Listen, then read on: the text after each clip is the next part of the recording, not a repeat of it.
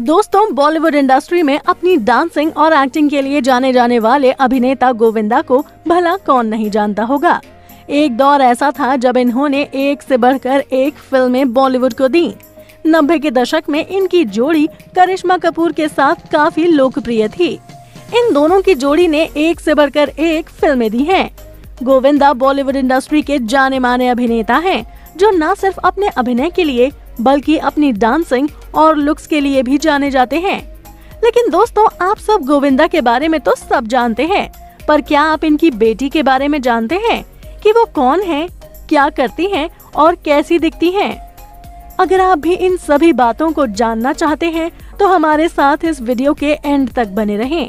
साथ ही बॉलीवुड इंडस्ट्री के इस दमदार अभिनेता के लिए हमारी वीडियो को लाइक करना ना भूलें बॉलीवुड एक्टर गोविंदा का जन्म 21 दिसंबर उन्नीस को हुआ था। इन्होंने अपनी शुरुआती करियर की पढ़ाई मुंबई से की है। इनके पिता भूतपूर्व अभिनेता अरुण कुमार और माँ एक जानी मानी गायिका और अभिनेत्री हैं, जिनका नाम निर्मला देवी है। ये एक पंजाबी सिंधी परिवार से बिलोंग करते थे। ये भारतीय फ़िल्म अभिनेता कॉमेडियन और पूर्व राजनेता भी रह चुके हैं। जो हिंदी फ़िल्मों में अपने बेहतरीन कलाकारी के लिए जाने जाते हैं गोविंदा अपनी अनोखी डांसिंग के लिए भी प्रसिद्ध हैं। इन्होंने 1986 की फ़िल्म अंजाम से बॉलीवुड इंडस्ट्री में अपना डेब्यू किया था और इस फ़िल्म में इनके अभिनय को काफ़ी ज़्यादा पसंद किया गया, जिसके बाद इन्हें राजा बाबू, सैंडविच और हीरो नंबर वन जैसी फ़िल्मों में काम करने का मौका मिला ये फ़िल्में इनके करियर की हिट फ़िल्में मानी जाती हैं। आपको बता दें कि ये अब तक तकरीबन एक सौ पैंसठ हिंदी फ़िल्मों में काम कर चुके हैं। इन्होंने अपनी दमदार कॉमेडी और अभिनय के दम पर बॉलीवुड इंडस्ट्री में अपनी पहचान बनाई। और ये न सिर्फ़ अपने अभिनय के लिए, बल्कि अपने डांसिंग के लिए भी जाने जाते हैं। लेकिन अगर बात करें इस दमदार डांसर की बेटी की तो इनकी बेटी का नाम टीना आहूजा है। ये रागिनी खन्ना और कृष्णा अभिषेक की बहन है।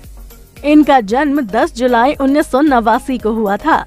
साथ ही ये अभिनेत्री सेकेंड हैंड हस्बैंड से बॉलीवुड इंडस्ट्री में अपना डेब्यू कर चुकी हैं।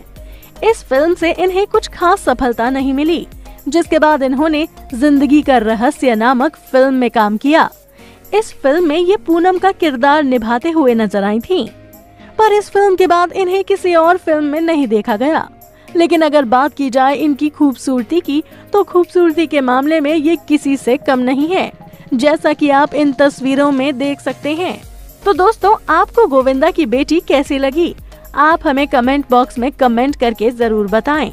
साथ ही बॉलीवुड इंडस्ट्री से जुड़ी ऐसी ही खबरों के बारे में जानने के लिए आप हमारे चैनल को सब्सक्राइब करना ना भूलें।